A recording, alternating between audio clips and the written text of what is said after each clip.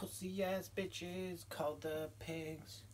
The police want me to dig my own grave cause I'm big. And they can't do it since they don't know how to. Pussy ass bitches called the pigs. Couldn't get an education cause they ripped me out of having a graduation.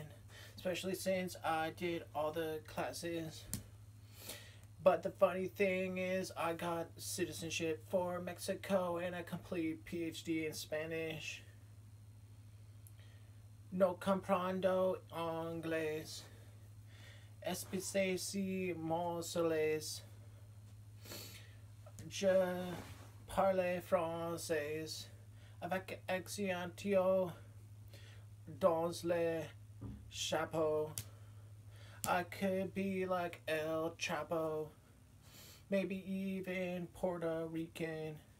But the problem is the pigs. Since I'm a big pit Rottweiler leg of a big Mig.